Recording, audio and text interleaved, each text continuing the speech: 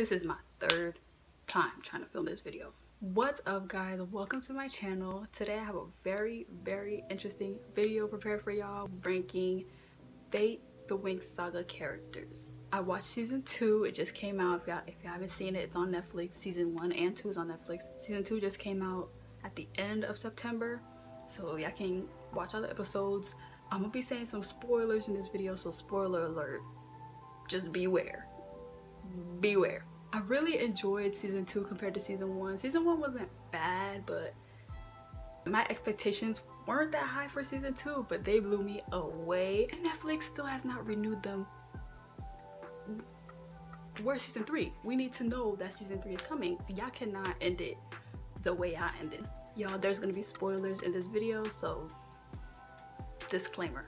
Before we get into the video, make sure y'all like and subscribe and also comment after this video down below which other shows you guys want me to rank the characters from. So leave them in the comments.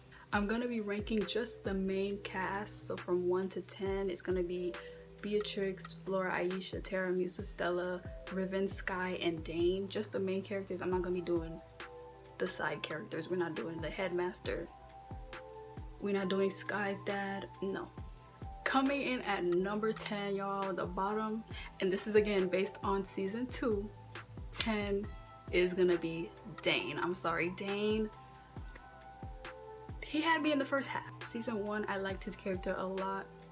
You know, I'm always here for a awkward, you know, socially awkward, anxious, you know, character. I'm into that especially because you get to see their growth later on in whatever show it is. Now he did flip this season. Season two, he started the season off, you know, as a douchebag. Okay, this is very, this is, this is okay. But throughout the season, I thought they were gonna take it further. I don't think they developed his storyline that well this season. They could have done way better with Dane. He didn't meet my expectations.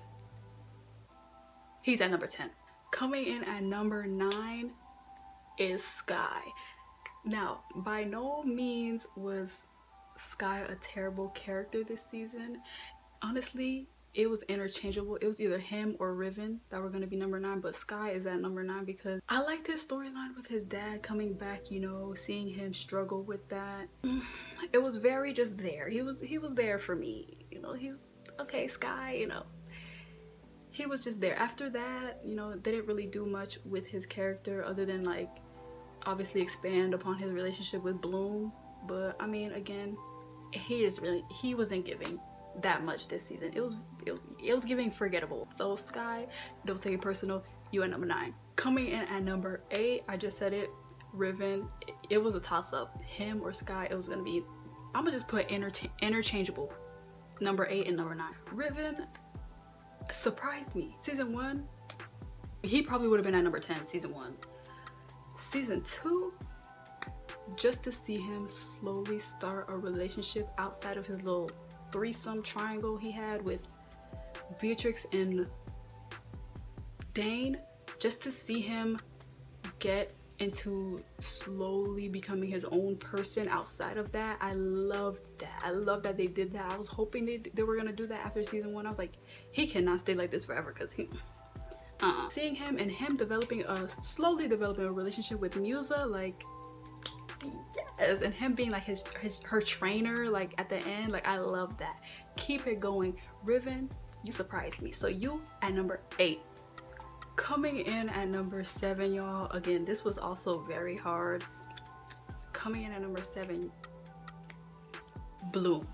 Now, Bloom, she's really low. I know probably y'all probably like, girl, what? Bloom, she's the main character. She needs to be higher. Okay, Bloom, don't get me wrong. I loved her coming into her own slowly. Obviously in the beginning of season two, she's she kind of struggled but I love that they made her come into her own how passionate she is about taking care of the people she loves. I loved that. But again it didn't really surprise me. She just didn't do anything that surprised me this season so that's why she's at number seven. Um and I'm really excited because at the end of season two again spoiler alert at the end of season two they showed her in the darkness realm which if y'all watch the original Winx Dark Bloom.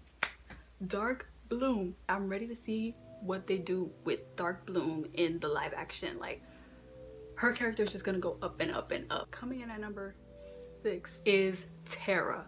Now, Terra, little disclaimer before we get into Terra. I loved her dynamic with Flora again spoiler alert who is the newest addition to the Winx in season two i love her dynamic with her seeing her struggle with somebody who for the first time is more put together than she is because in the group Terra was you know she's the brains she's you know super calculated. Seeing her dynamic with Flora Flora who seemed to be even more put together than Terra she's super smart super independent.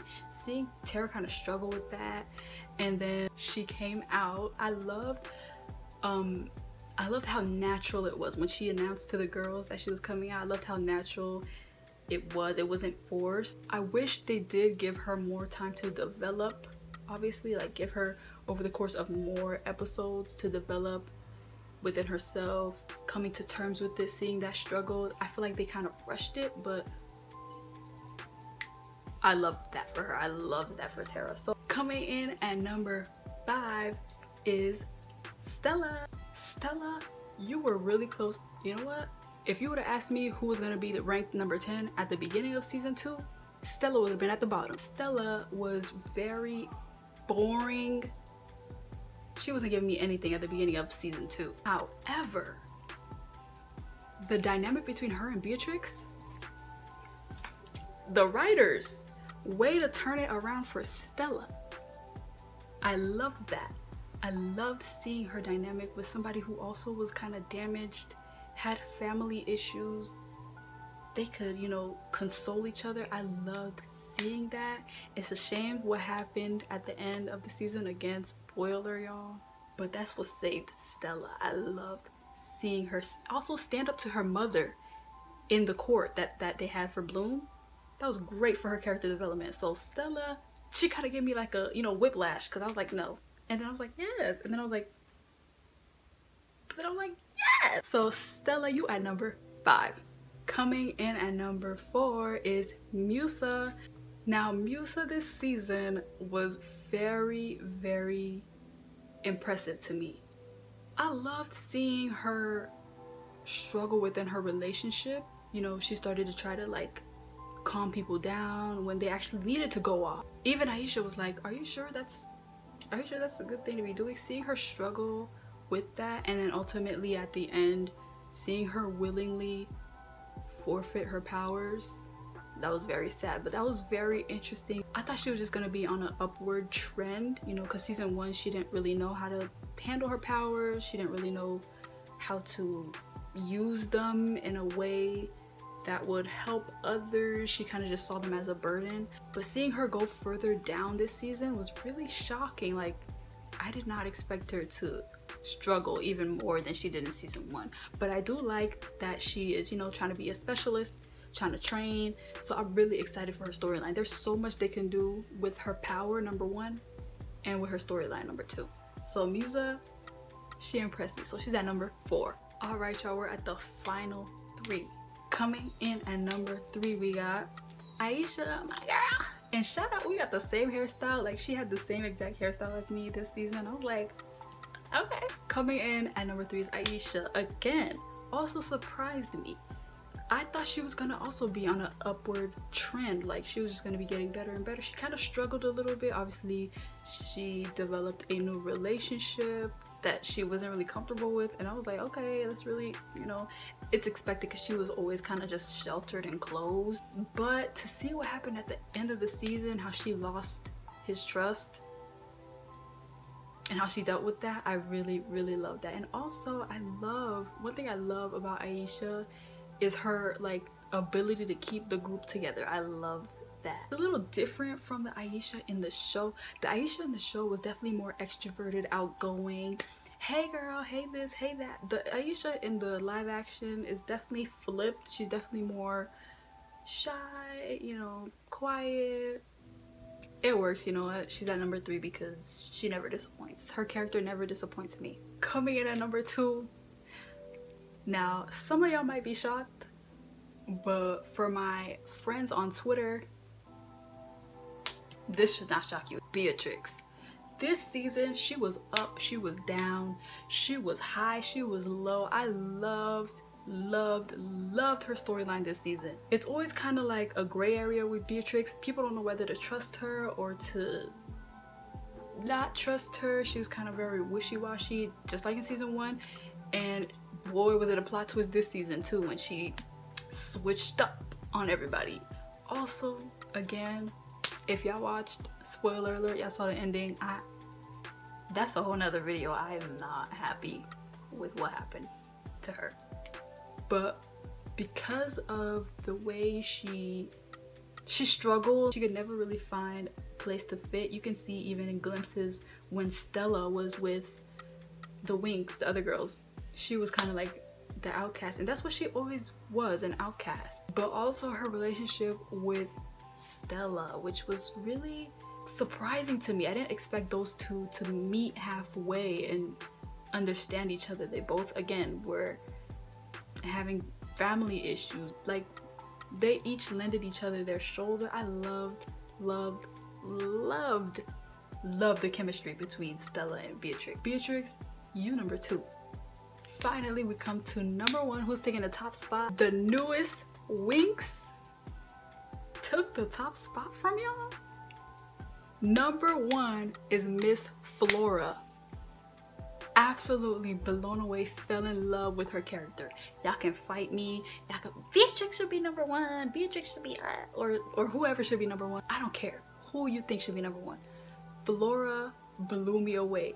Coming off, just debuting as the newest character in the show, they introduced her as Terra's cousin it was whatever. It's if you're on Twitter, you know how hard we fought for Flora. You know, you know how hard we fought for Flora to be in this show. They try to play us with Terra. Don't do it. Flora was amazing. I love her character, her personality, easygoing, calm and collected.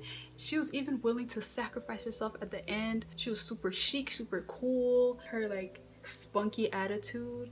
She was just amazing this season. Shout out to Paulina Chavez. She plays Flora. You did a great job coming into an already established group. Flora, can we talk about her speech to Aisha?